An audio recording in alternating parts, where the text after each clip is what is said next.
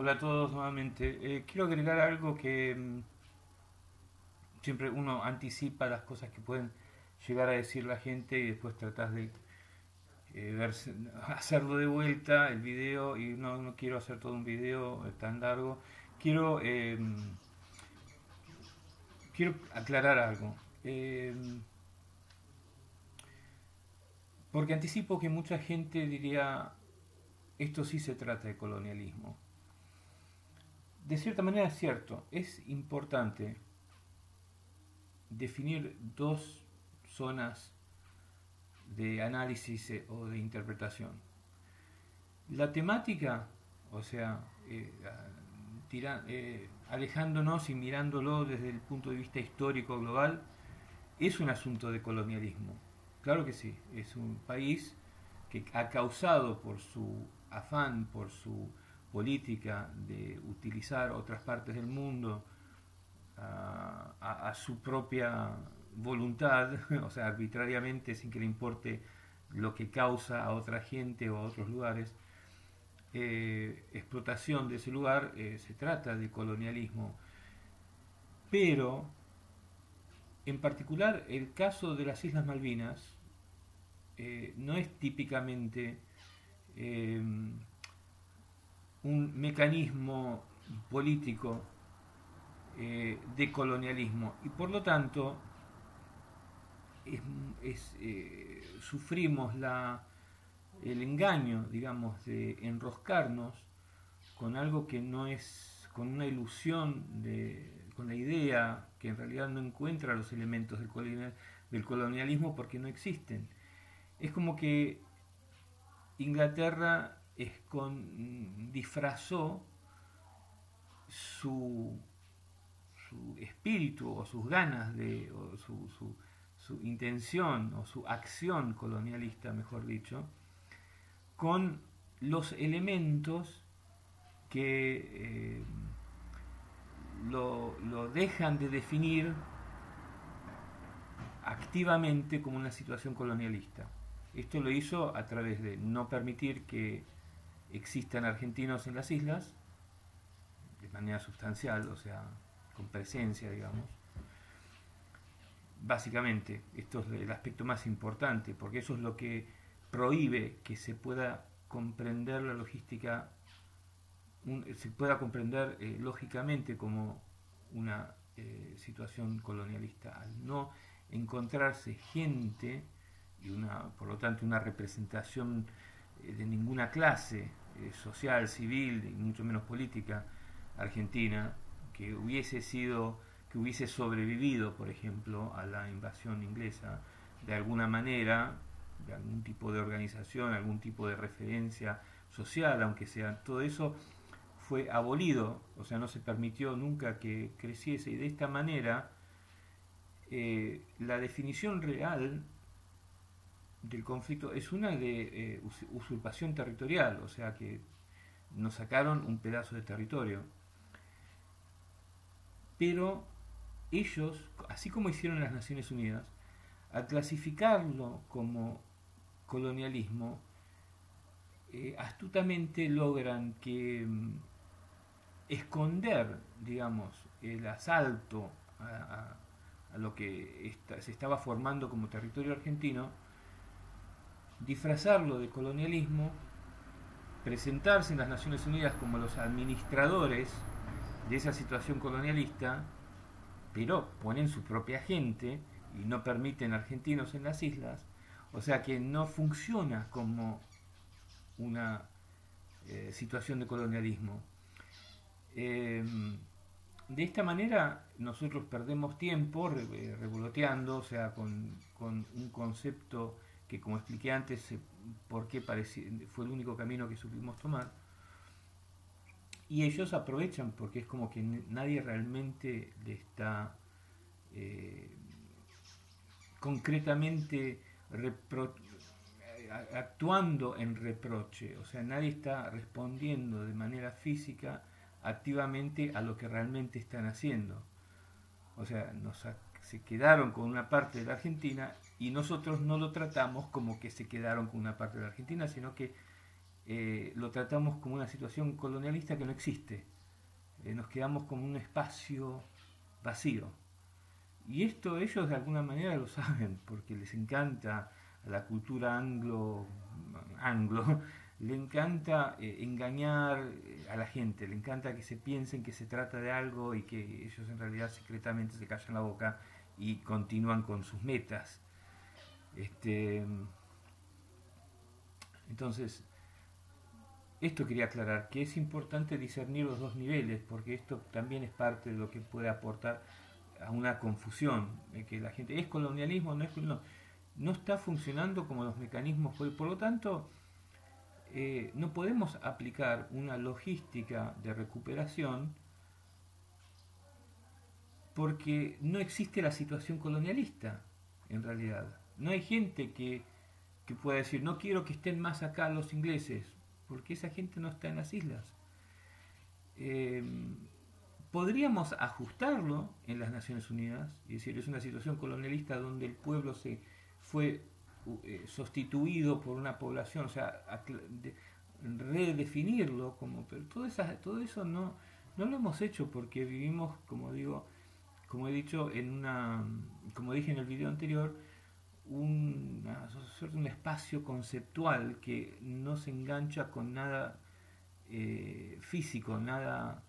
eh, eh,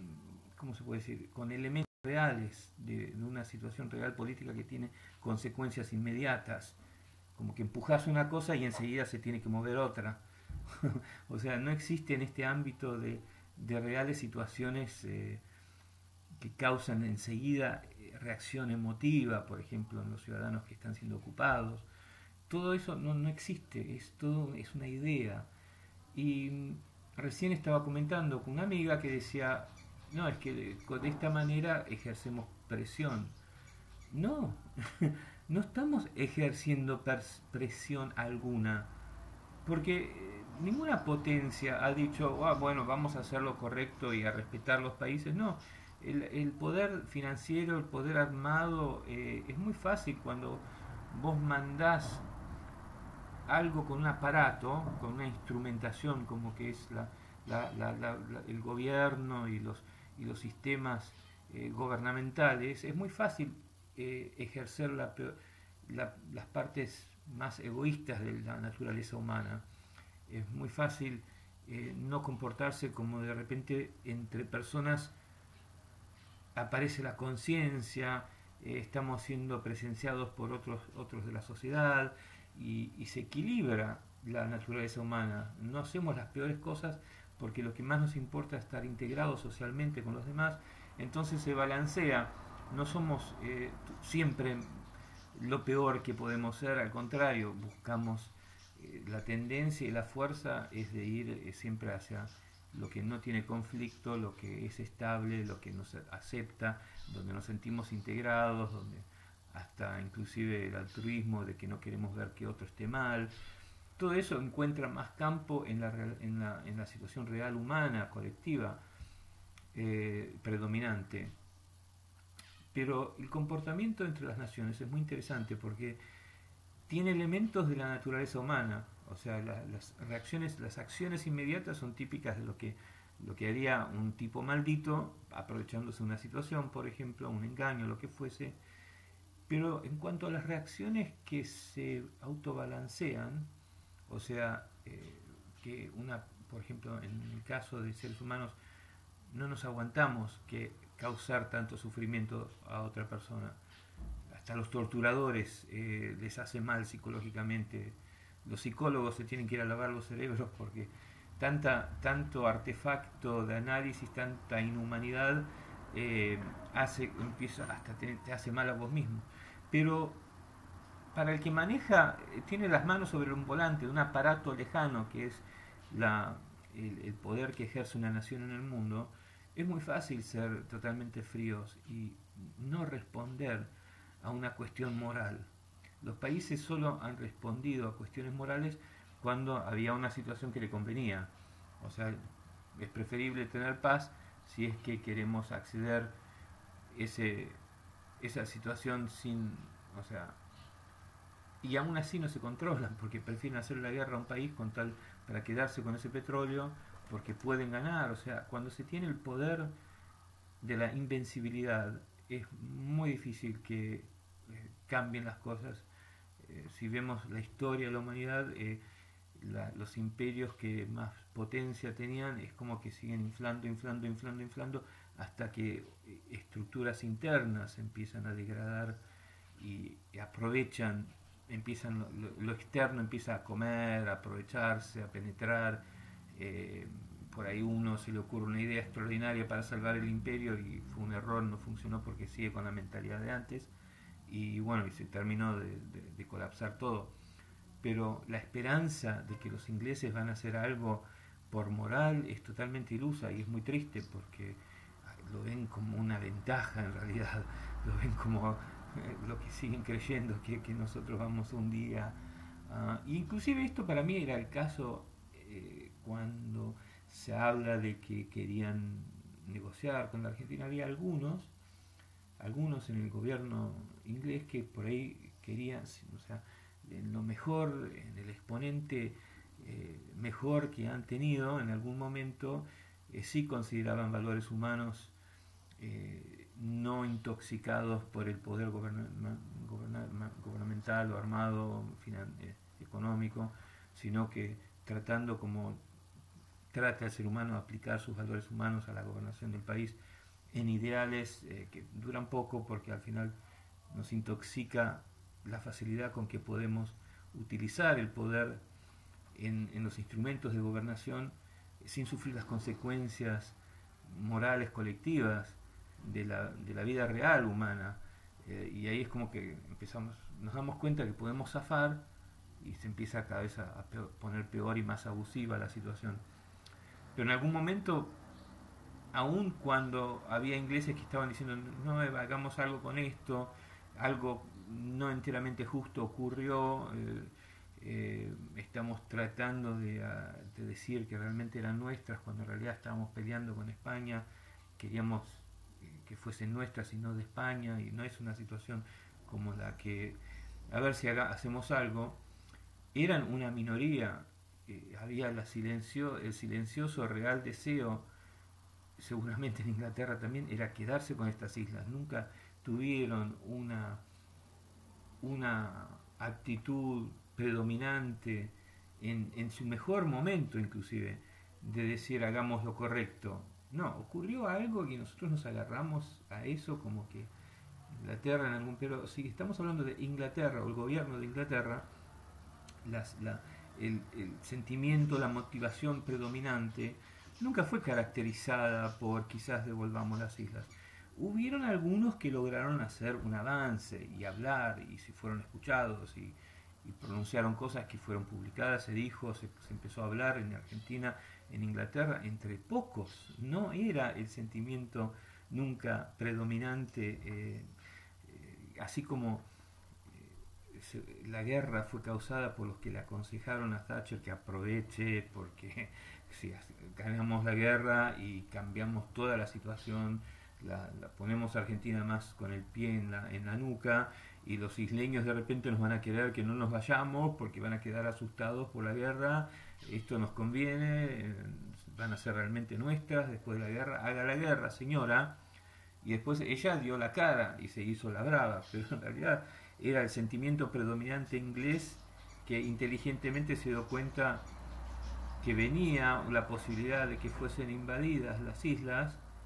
y se callaron, porque Inglaterra sabe utilizar las guerras. Entonces, ni bien sospechó que este tipo, eh, Galtieri, iba a invadir las islas, dijeron, no, no, no, esperen, esperen, esperen, que una guerra no sería tan, tan malo eh, para nosotros en este momento. No digan nada, le pusieron una especie de trampa, que fue este piso, y, y ahí se hicieron, hicieron todo un circo de 15 días, donde dijeron, no, ¿cómo que sí? Que no, que no vamos a permitir, que eh, en realidad nunca quisieron negociar, nunca les interesó que, se desvaneciera la, la, probabilidad de una guerra, que ya empezaron a, construir y a contar y a mover todo y a calcular para esta guerra que eh, los argentinos fueron lo suficientemente bobos de provocar. como lo ven ellos. Eh, bueno, entonces, eh, para comprender el conflicto, realmente hay que tener, yo creo, una perspectiva más globalmente realista de la historia de la humanidad y entender sí la particularidad de este conflicto de, temática colonial, pero que en sus mecanismos de, resolución y de análisis político conflictivo que tendrían que llevar a, cuáles serían las logísticas argentinas, eh, no es una situación de colonialismo, es una situación en que tenemos como un país metido adentro. Si es que queremos no abandonar eh, el reclamo. Entonces hay que interpretarlo como que tienen un pie en nuestro territorio, porque eso, es lo que ellos han hecho. Ellos al no permitir que sea una situación de colonialismo y asegurarse que fuese, que mantuviesen el control de la población, imponiendo población inglesa, haciendo que no lleguen argentinos, no reconociendo nunca que existe el conflicto, etcétera, etcétera, no nos dejaron otra opción de que fuese interpretado como que pusieron un pie en nuestro territorio, aunque tampoco es algo así que lo que sucedió, pero si es que hay que proceder con una logística más coherente, hay que tratarlo como una invasión del territorio. Eh, no, o sea, en, todo caso, mucho más de lo que tiene sentido que se trate como una situación de colonialismo, porque si se sigue tratando como una situación de colonialismo, le estamos facilitando eh, que, lo, que, lo, ignoren, que avancen, que hagan, lo hagan cada vez más difícil, eh, porque pueda reclamar la Argentina. O sea, es como que le estamos, eh, estamos regalando el conflicto diciendo que no se lo vamos a regalar nunca y mientras tanto se lo vamos dando. Eso es lo que el efecto a largo plazo es de seguir llamándolo una situación de colonialismo. Eh, y llamándolo una eh, más eh, ciertamente a sus mecanismos, una situación de usurpación territorial, provocaría que tuviese, tomase una actitud más confrontativa. entonces nos vamos a ser amigos de ustedes porque nos están insultando, están agarrándose un pedazo de nuestro territorio y tratándonos como que a nosotros no nos importa esto es una ofensa al espíritu soberano del pueblo y bueno, entonces empiecen a, empiecen a alejar sus intereses eh, yo, con residencia o ciudadanía condicional a los ingleses, eh, limitación, no expropiación, no nada bruto, pero de repente como que ya no, no debería haber amistad con eh, ni económica ni comercial eh, ni ciudadana, son de gente que no nos respetan y nos quieren sacar territorio. Y esto yo creo que en realidad eh, intimida al gobierno argentino. la idea de que no, y ya lo han demostrado, que cuando nos hacemos los fuleros, como empiezan a cerrar todas las puertitas internacionales y la Argentina, como que hacen una campaña social, la Argentina el país difícil, no lo ayuden, eh, son estos, son el otro, son los socialistas, o sea, de repente se, se, convierte en toda una campaña global. Entonces es entrar en una zona muy difícil que se pone aún más difícil de una manera, o sea, por ejemplo, eh, los Kirchner quizás se equivocaron en, en, agudizaron esta situación porque se la agarraron con los isleños. Si nosotros fuese, fuésemos patrones del conflicto político. En realidad los isleños son, son víctimas de algo que Inglaterra le está haciendo a la Argentina. Eh, los juicios, o sea, los, este, las medidas tendrían que ser tomadas contra el Reino Unido. los, los isleños necesitan comer ¿Cómo no? Manden algo de comer, pobrecitos que tienen hambre. o sea, para hacer un ejemplo. Eh, en realidad, el coraje, la valentía tendría que estar siendo demostrada, eh, la valentía por nuestra integridad como nación ante la relación con el Reino Unido, que quiere decir también Estados Unidos. ¿no? porque los dos están siempre de acuerdo y bueno, entonces la Argentina tiene que demostrar una definición propia ante el mundo y, decir, no es que tengamos algo contra Estados Unidos, pero bueno, estos dos siempre miren lo que hacen. Hay un paralelo muy interesante entre eh, Duncan, Silas Duncan y, luego la Clio y lo que hicieron los ingleses en Mauricio con Diego García, o sea, es como que siempre se ponen de acuerdo. Y esto es algo de repente interesante que tiene, es claro, es sencillo de entender y, hay que demostrar que no somos unos renegados eh, socialistas incapaces eh, de hacer nada, de hacer las cosas bien, no.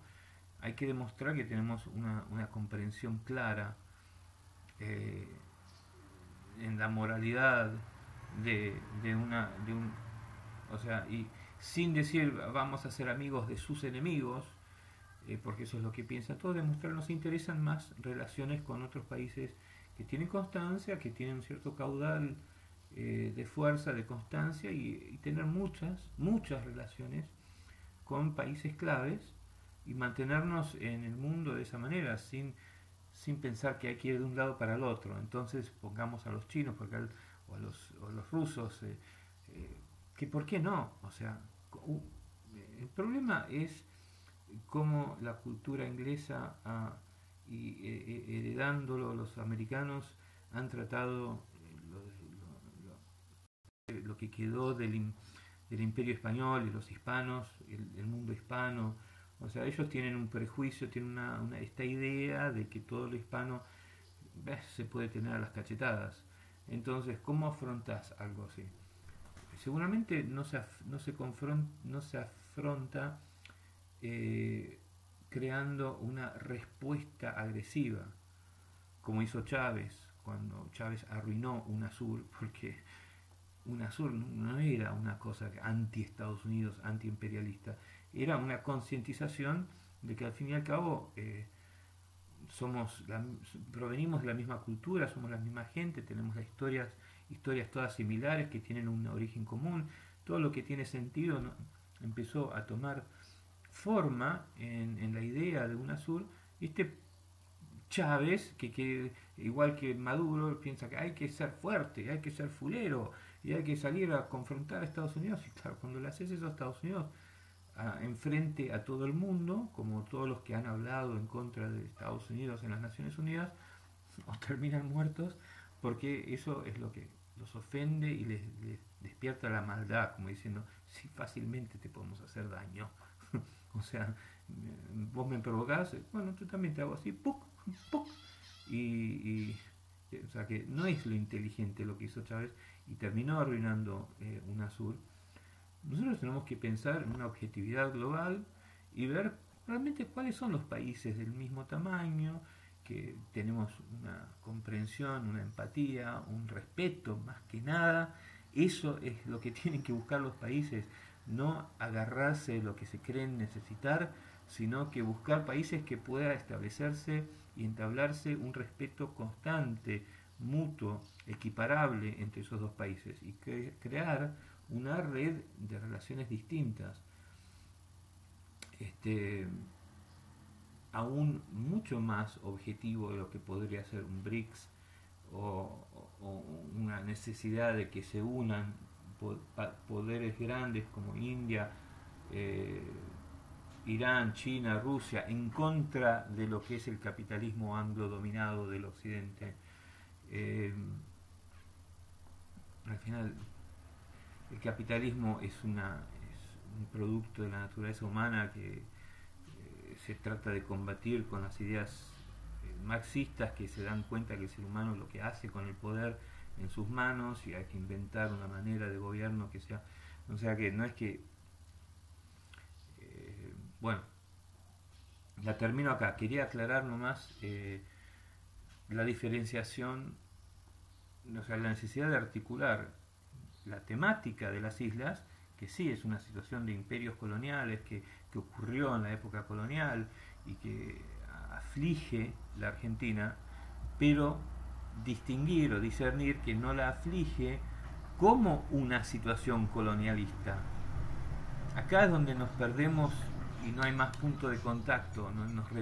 nos resbalamos y quedamos en un vacío.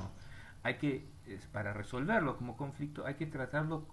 por lo que más se parece, que es eh, una, que nos robaron y tienen una parte que debería pertenecer a la Argentina, que es como si fuera una ocupación territorial eh, no colonialista, sino que nos robaron un pedazo de territorio. Y de esta manera eh, habría un reclamo, un reproche, una denunciación y toda una estructura distinta en las Naciones Unidas. No sería si las Naciones Unidas podrían hacer algo. Pero yo particularmente creo que las Naciones Unidas somos nosotros, o sea, es cada país. Ya eh, los países se escuchan entre todos, hay un espacio colectivo, eh, ya nos estamos hablando todos. Las Naciones Unidas es un instrumento para que ciertos poderes eh, puedan, los que tienen el poder, la manija, puedan manipular el resto del mundo y eso ya es bastante evidente. Este, habría que crear un, nuevo aparato, una nueva organización. Pero mientras tanto, las Naciones Unidas ya están, ya, ya nos estamos hablando, ya sabemos, con, apretar un botón podemos saber lo que piensa cada país del mundo con respecto a cualquier situación, lo vemos con la cuestión del COVID, con la cuestión eh, del, repudio a la, a la, opresión policial, que es una, un aspecto de la psicología sociológica que viene aguantando, viene aguantando, el mundo eh, eh, se ha convertido muy, eh, se ha puesto mucho más informado, mucho más socializado. Estas son formas arcaicas, la, prisión es una, es una, es una mentalidad arcaica que vaga, aragana, que no quiere solucionar sus propios problemas sociales y prefiere castigar y meter en un calabozo a los que son a los que causan más y bueno, todo esto está como que siempre ha, fastidiado a la inteligencia moderna de las sociedades, pero no había manera de comenzar a, darnos cuenta que era mucho más prevalente en todos de lo que cada uno se creía. Y ahora por eso está explotando a nivel global. Todos los países de repente tienen un, George eh, Floyd. o sea que es fantástico. Y de la misma manera podemos, eh, tenemos un plano para eh, poner sobre la mesa cuál es el real problema, o sea, de qué consiste realmente las Malvinas, cuál, es, qué es, cuál va a ser nuestra política, por qué tenemos esa política, y que nada tiene que ver con el colonialismo, no es una situación colonialista. bueno, ok, ya creo que dije bastante, gracias.